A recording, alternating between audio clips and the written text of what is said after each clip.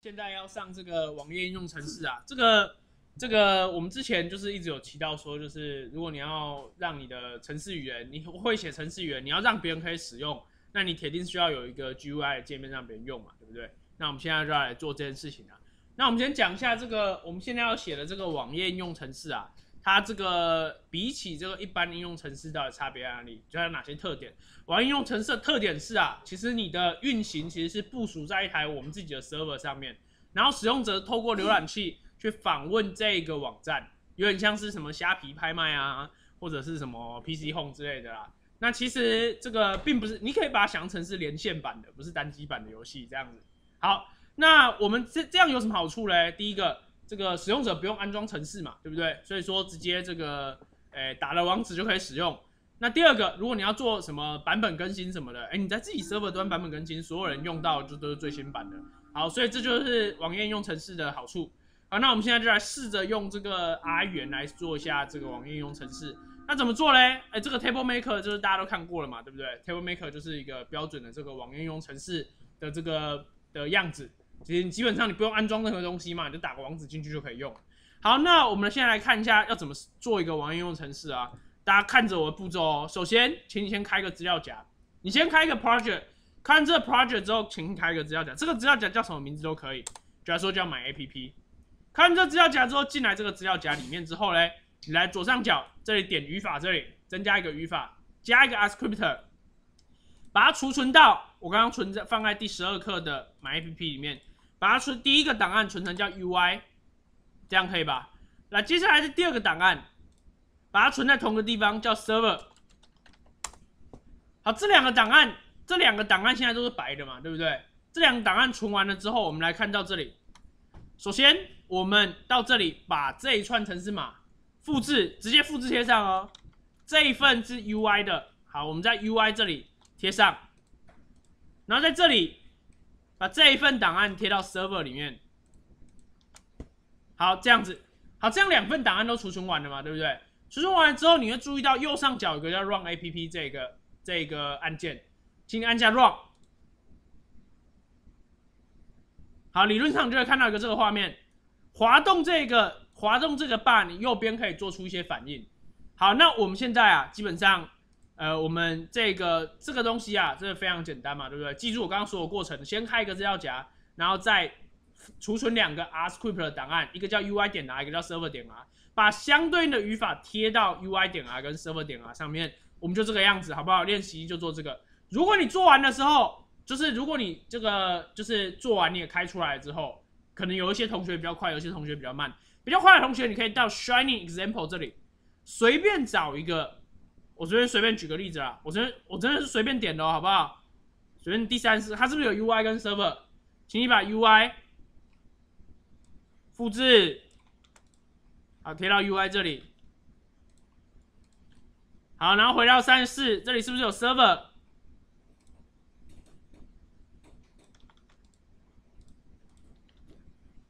好，我们再按次 Run。这是什么东西？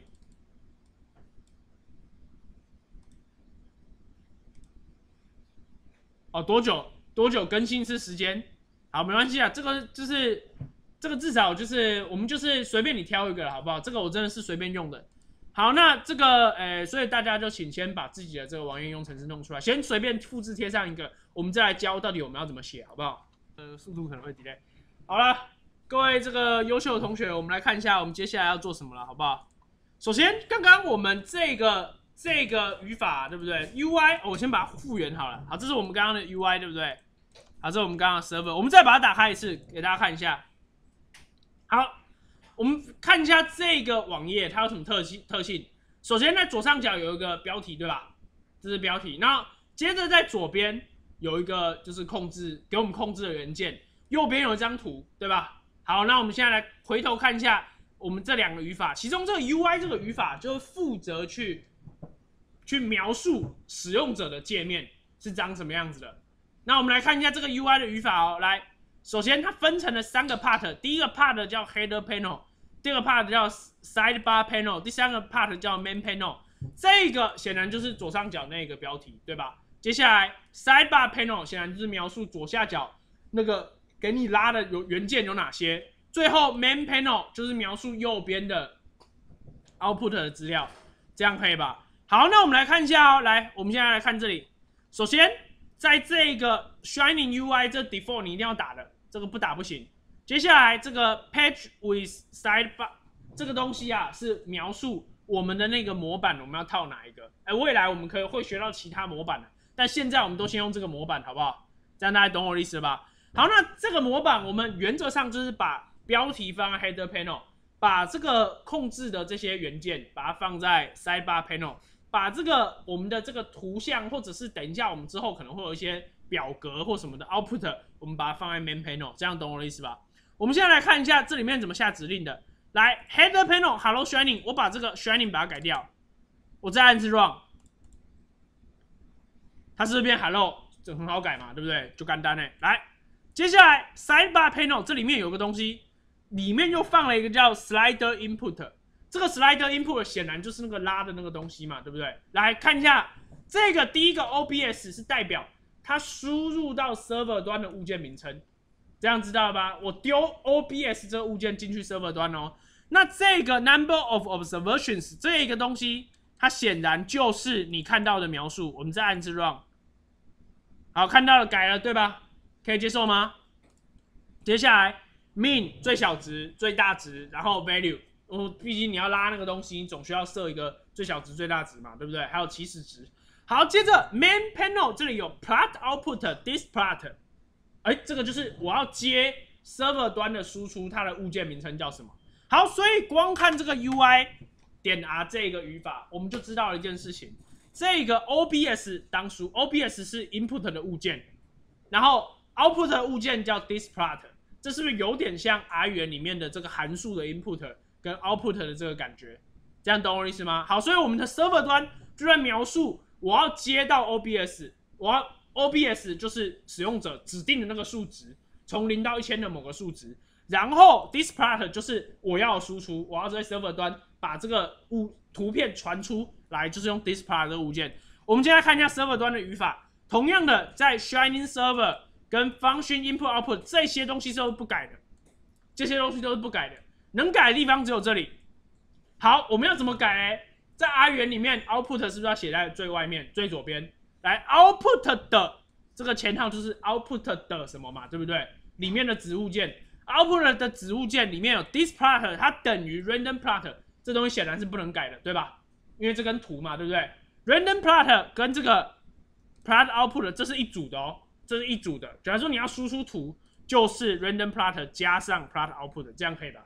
好，里面它做了什么事呢？Input 的 OBS 先经过 RNORM，RNORM 这个函数是随机产生一个常态分，就是随机产生一堆随机数，这是一个从常态分布里面抽随机数的一个函数，这样知道吧？这个东西把它变成一个 dist，这显然是一个数值向量，对吧？就是对这个数值向量做 histogram，那它就画出这个直方图了嘛？这样可以接受吧？所以说你已经注意到我们是怎么画图的。来，UI 端指定的标题是 Hello，然后这个呃 Sidebar Panel 里面有一个拉拉的这个元件，这个元件叫 Slider Input，这个元件的 Input 叫 OBS，最小值零，最大值一千。使用者调整的时候，它就会把 OBS 这个数值直接做改变，然后传到 Server 端。Server 端要吃到的东西就是这个东西进来做一个 RNORM，然后变成这个一个 Histogram。Histogram 输出成 displot，这样懂我意思吧？这个 displot 它接到 UI 端去把这个东西给它 plot output 出来，这样大家懂我意思吧？好，逻所有逻辑你都弄懂了之后，我们现在来做一个简单的改变。如果你今天要画一个直方图，你可以用 OBS 等于五百，这个这些数字都随便我设嘛，对不对？平均数标准差 color 是什么？哎，这样我是不是就可以画出这个图了？对吧？那同样的道理，那如果你要在这里改的话，你是不是要改在 server 端的这里？你是不是要改在 server 端的这里？这样可以接受吗？你要改在 server 端的这里哦。然后我们把它贴上。那当然，OBS MS Color 这个东西呀，我们可以先把它 delete 掉。为什么？这个我们让那个等一下 UI 端去给我们就好了嘛，对不对？这样可以接受。我们把它 delete 掉。好，OBS 这里改成 Input 的 OBS，Input 的 min input 的 s，这样可以接受吗？然后这里改成 input 的 color，这样可以接受吗？好，这个你都可以接受之后，我们来看一下，我们在 UI 端要怎么改呢？来，我们就把这里给它改改掉就好了。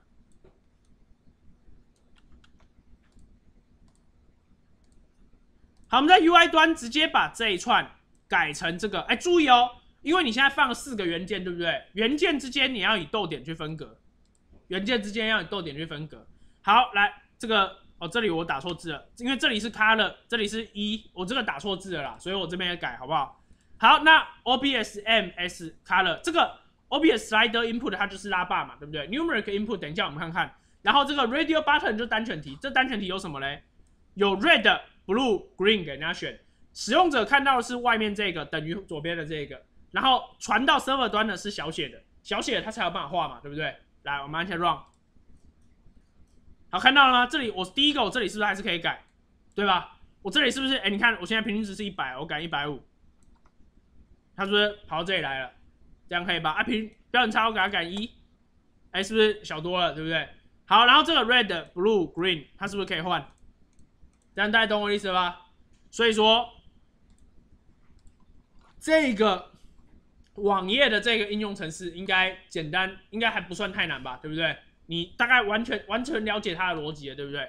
好，在我们进到下一课下一个小节之前，我们先给大家做一个事情，请你把 UI 端跟 Server 端把这个设好之后啊，然后现在只有 Red、Blue、Green 嘛，对不对？请你随便加个颜色，好不好？加个颜色，我们试试看。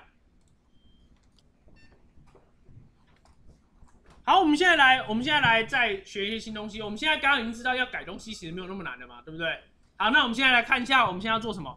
哎，我们之前不是有学过自定函数吗？对不对？就是，哎，我反正我要做一些事情，我可以把东西打包成函数嘛，对不对？那我现在要做什么呢？我们这边用一个做一个简单的例子，就是我现在啊要做这个，哎，做样本数估计。我这边硕士班的同学应该都听过样本数估计啦。啊，大家知不知道这个？比如说我们现在要做个民调，然后正负百分之三，大概抽多少人？大概一千人上下嘛，对不对？好，那这个这个我们要怎么来计算这个一千人上下？我们需要这几个参数。你如果不会算没有关系啊，没有人强迫，没有人要求你要算，好不好？我们在 AskScript 这里开一个，好，这个显然就是输入的参数嘛，总共有 significant level，就是这是这个 p value 嘛，对不对？这样可以吧？然后这个 expected rate，这个是期望啊，这个它的得票率应该多少？这样知道吧？期望的盛行率。那接着呢，我希望啊，它的这个呃 error range 是正负百分之三，这样可以吧？然后。哎，z 后面就不重要了，后面就是计算这个样本数的过程嘛，对不对？这样一串程式码，我们可以把它改成 sample size 这个 function，这个 function 输入什么嘞？p value 这个那个 prevalence 跟那个 error range 对吧？好，这样我们就可以计算出样本数要一零六七六八二四五，这样可以接受啊。好，那我们现在把这个东西放到我们的网页上，这样懂我的意思吗？那怎么放嘞？这三个显然是数值输入，对吧？数值输入，所以啊，我们来看一下我们的 UI 怎么改啊？来看着哦，我们的 UI 这里，我们把我们刚刚的 Header Panel 改成 Sample Size Calculator，这样可以接受吧？那在这里，我们把 Slide Sidebar Panel 把它改成，来，本来是本来都 Slide Input Numeric 跟那个 Radio Button 嘛，对不对？全部都改成 numeric input，输入什么呢？sig p 跟 x，范围跟起始值这里就写了，这样可以接受哦。然后 output 这里呢，output 这里因为是数值嘛，对不对？我们输出 text output，来 text output，我们把这段复制下来。这个 h 三这边又有个 h 三，h 三是指说这个我把它这个我把它那个字体啊变大变粗。我们等下可以把 h 三去掉看看好不好？所以这是 text output。所以它在 server 端是不是就要是用 take random text，然后 random text 是什么东西？size output，output 是 size，然后去接 input sig，input p，input x，对吧？可以接受哈。好，我们在 server 端这边看一下怎么改。首先，你需要把 your function 放在我们的 shining server 的外面，因为首先你要先载入这个 function 嘛，这样可以接受哦。那接着嘞，在这里 output size。等于 random text，因为外面是 text output，所以这里是 random text，这样可以接受吧？然后输入什么呢？sample size 这个函数 input sig input p input x，算出来这个数值之后，我们把这串字贴出来。We need round round n round 就是这个四舍五入，这样可以啊。来 samples for this sampling，按下 run。哎，这样我是不是就可以做一些调整？然后我现在接受正负五 percent，它是不是就可以计算？好，就要心情水准把它改成零点一好了。好，这样大家懂我的意思吧？这个应该不会很难吧？对不对？来，再看次怎么改。UI 端在这里输入你想要的东西，然后在这里你要输出 text input output，你就叫 text output。这个 S 三你可以把它改掉，它字体会变小。变细细的一行字，这样看到了。好，那 server 端呢？server 端的逻辑就跟我们刚刚是完全一样的，这样可以接受哈。就是，哎，这个 output 的这个东西，output 的这个东西，这个物件，把 output 的 size 等于 random text，这个东西要跟前面的 text output 做这个相对应。好，里面呢，里面做什么呢？使用 sample size 这个 function 嘛，对不对？sample size 这个 function 我们在这里去描述它。描述完了以后，input 三个数字，把结果贴出来。好，那现在你要做什么事嘞？来练习二，请你计算 case control study 的这个 sample size。这 sample size 的公式啊，有点复杂，对不对？没有关系啊，下面你把方程写好了。这个方程写好，你需要 input alpha power or 这个 rate，这个是比例，这个是这个 r 是 case 组是 control 组的几倍？正常只有一比一，就是一倍。这样可以接受吗？如果你写一比四，就是零点二五倍，这样可以哦。然后接着 P 零，P 零是什么嘞？预 control 组预期的铺入率，这样懂我意思吗？输入这五个参数，你就可以把 sample size 计算出来。这一串程式码你就直接复制贴上了，好了，好不好？不要浪费时间看上面怎么算的了。哎，这样你就可以做出一个 sample size calculator，这样懂我意思吧？好，我们再练习一下。好，我们要解这一题练习题啊。首先，你一定要做这件事情啊。大家很多人都觉得这个东西的输出理所当然，我应该要会啊，对不对？实际上当然不是啊，对不对？来，我们给它输出一下。你看到它输出的是什么？它输出的是是不是？它其实输出的是一串文字嘛，对不对？所以说，既然它输出的是文字，所以说我们而且直接就是文字喽。所以说我不需要再做四舍五入什么之类的嘛，对不对？然后你有注意到什么意思？哎，这个它输出了有两个，有一个要 correct，一个不要，一个没有没有 correct 有结果，correct 的时候也有个结果，所以这个时候啊，我是不是我可以选择把两个结果都输出出来给你看？那我要怎么把两个结果都输出出来给你看呢？我们在这里，我们在这里，我们是不是可以输出？比如说，text output t one，然后我们把它复制。The text output 的 t two，我是不是可以输出两个？这样可以接受吧？那我输出两个，我要怎么输出两个嘞？来，首先我们现在来看一下我们的答案，在这里，在这里我们实际上我们先把它，我们先把它复制贴上，好不好？因为这个不难改嘛，对不对？几乎所有人都会改这个。我们只是把元件从 sig p 跟 x 改成输出 alpha power or r 跟 p 零，这样可以接受吗？接着在这里 t one t two。好，实际上我在这里还有四个，对不对？我们输出 t one、t two、t three、t four，你全部都输出嘛。好，总共总共有四个，这样可以接受吗？好，那接着我们在 server 端呢，在外面潜呢，我要把这换掉嘛，对不对？所有人都会换，怎么换掉嘞？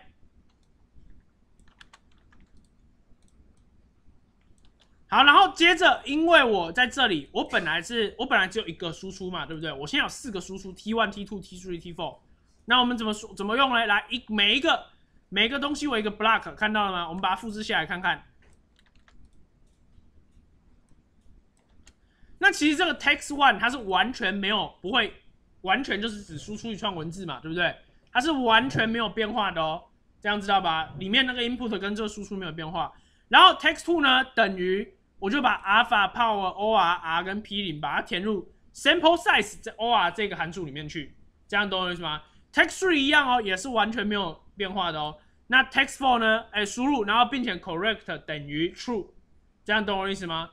这样我的 run app 输出的时候，我就可以看到这些数字了。我现在把零点八改零点九，它是不是就做了一个相对应的改变？这样懂我意思吧？好，那我跟大家讲这一题的关键在哪里？关键在于你第一个，你在加这些东西有没有问题？我想大部分人都没有问题了，只是有些人有时候会忘记加逗点之类的，这样懂我的意思吗？那我们都是非常清楚的，这五个元件就是等下输入的元件。在这里呢，这四个 output 有没有问题？有一些人有问题，因为从来没有看过多个 output 的嘛，对不对？连续给他逗点加下去，不要害怕，这样懂我的意思吗？啊，你只输出一个也可以啦，这样懂我的意思吗？那这个 server 端呢，把你的 function 输入在这里，这个没有问题。然后记住你的 function 名称是 sample size or 不是 sample size 哦，这样懂我的意思吧？那输出四个 output 怎么去在 server 端呈现呢？Output text one 等于什么？Output text two 等于什么？Text three 等于什么？Text four 等于什么？就变成四个四个模块，四个模块分别去输出我想要输出的文字，这样知道吧？那你看我这里有 H H three，有些是 H four，H three 的字比较大，H four 那个字比较小，这样懂我意思吧？好，这就是我最终的结果了。好，这个最终的结果出来以后啊，我们来做一个最后我们今天要上的最后一个 part 来做一个简单的应用。这个简单应用啊，叫 conditional panel。刚刚我们是不是会计算这个一般这个做民调抽样时候的 sample size？接着我们又会计算了 address 要计算这个 case control study 的 sample size，对吧？我们有办法把这两个东西整合成同个 app，同个网页，有可能，对不对？那需要怎么样？我首先要先给人家选嘛，对不对？让他选说，哦，你要选择使用这个，哎，你要选择计算民调，还是你要计算这个这个 case control study？那选完以后呢？选择计算民调的话，它输入了三个参数，就是 p p value，然后跟那个 acceptable 这个 error range 吧，对不对？那如果输入 odds ratio，是不是就要输入五个参数？这样懂我的意思吗？所以它的这个面板就要根据这个状况做一些改变哦。我们先数字贴上一次当前的这个，我我们做来用来做范例的这个。UI 跟用来做范例的这个 server，我跟大家讲一下，就是如果你今天哦，你不知道东西要怎么写，请你先贴别人的程式，贴完之后看看那个程式有没有你想要的东西。然后我们先贴，按下 Run。这个程式是什么嘞？哎，我重整一次，再一次，再 Run。这个城市是什么？来看着哦。为什么？为什么它会它会这个样子？好了，这样从正常了。好，这程式什么？左边是不是有个 normal 跟一个 student t？这里可以选。我在选 normal 的时候，这里是不是给我输入 mean 跟 standard deviation？在选择 student t 的时候，这里是不是给我 degree of freedom？所以你看到了，我在选择这个的时候，左边的参数会改哦。那下面这个不会动，对吧？这样可以接受吗？然后这个图右边的图是不是也根据我选的这个参数做一些改变？不过要右边的这个图要改，似乎没有那么困难，因为在 server 端。我可以下非常多 if else 的条件嘛，对不对？但是左边这里到底是怎么改？这是不是很神奇？对不对？好，我们来看一下怎么改的。来，UI 这里 select input method choose description，然后 normal 等于 norm，student t 等于 st，所以这显然就是让我们做那个下拉式选单的那个东西嘛，对不对？来，在这里看 help text setting parameter for description model，是不是在这里？这一行字不重要。对吧？可以接受。接着，conditional panel input 点 method 等于等于 norm，就是说，当我选到了 norm 之后，conditional panel 顾名思义就是这个条件式的 panel 嘛，对不对？当我选了 normal 之后，我要显示的 numeric input nu mu numeric input sd 这两个，这样懂我意思吧？那就是 mean 跟 standard deviation 嘛，这样可以接受。如果 input method 选到是 st。我就输出，我就输让输入 df，这样可以接受吧？好，然后呢，slider input 这个 number of sample size 这个我们因为是共用的，所以它不在 conditional panel 的范围内，这样可以接受吧？output display 这个没有问题，刚刚一直用 display，在 server 端 output display 等于 random plot，里面有什么？if input method 等于等于 norm，我就做什么嘞？我就做 norm。输入 input obs，然后 mean 跟 sd 去产生这个随机数值。那如果 input method 等于等于 st，我就输入，我就输出这个，我就用 RT 从 T 分布里面抽抽 number of observations 跟 DF 从 DF 这个分布去抽，接着把 histogram 起来，这样大家懂我的意思了吗？大家知道怎么做这个 conditional panel 了吗？先给一个选择，这个选择如果你选到了什么以后，请你在这里使用 conditional panel 把那个选择描述好。根据选择 A，我们就输用 A 元件；输入选择 B，我们就用 B 元件。这样懂我意思吗？然后在 server 端呢，写好完整的 if else 函数，if else 的判断逻辑，然后把结果输出出来。这样大家懂我的意思哦。好，练习三，练习三什么呢？来，首先大家练习二不会做的，我们先跳过好不好？但是我们现在再记住一件事情，我们现在啊，这个练习二这边是不是有个答案？这边是不是有答案？练习二的前面这里是不是有个答案？就是一个是算民调的，一个是算那个 case control study 的，对不对？请你把这两个整合在一起，先让他选择你要计算 case control study 还是一般的 preference，这样懂我的意思吗？那选择完了以后，根据他选择输入的参数分别是 sig px 或者是 alpha power or rp 零，这样懂我意思吗？然后根据他的选择跟输入的参数，我们去计算 sample size 给他。计算 sample size 的结果，哎，你看这里输出输出四个，这里输出一个，那怎么办？这里只输出一个，那怎么办？那很简单啊，那就其他就不要了嘛，对不对？你懂我意思吗？你选择 A 的时候，你选择 A 的时候，剩下三个你就输出空白啊，这样懂我意思吧？那选择这个 a d r e s s 的时候就输出四个，这样懂我意思哦？好，我们试一下，好不好？好，那我们来看一下练习三的答案，到底做什么啦？其实重点就是你需要有一个 select input 当起始，对不对？然后这个 select input 啊，这个你要请问他，你要估计 rate 还是估计 case control study？那你接着你选完之后呢，给定适当 conditional panel 的这个元件。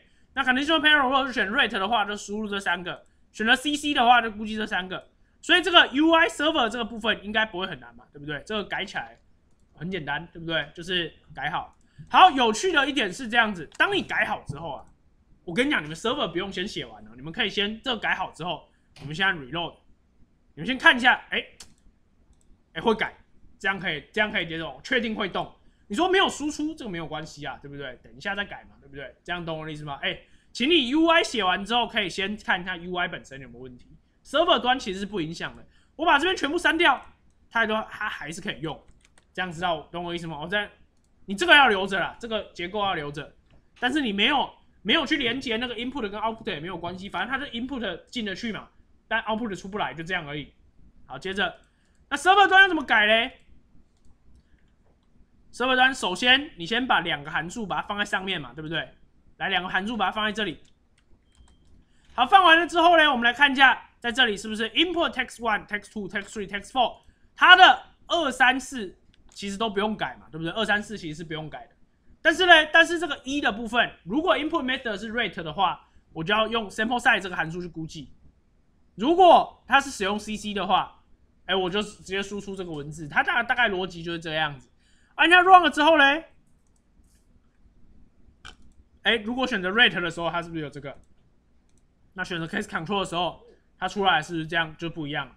好，这样大家懂我的意思吗？哎，大家可以练习一下啦。如果觉得很困难的话，你可以先贴一下这个结果，然后试着去改变一些逻辑，比如说把物件名称改掉啊，把一些逻辑改掉啊，来看看它结果的改变。